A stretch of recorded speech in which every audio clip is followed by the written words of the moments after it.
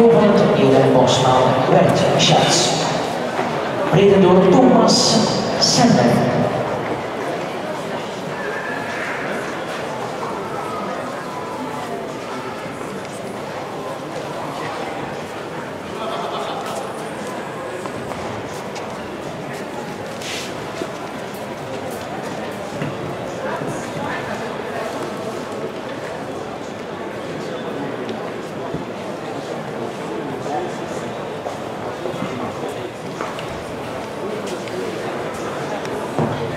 Broer die werd gevoerd bij Mietenhof en start ter dekking op Stoeterij de Roshoven.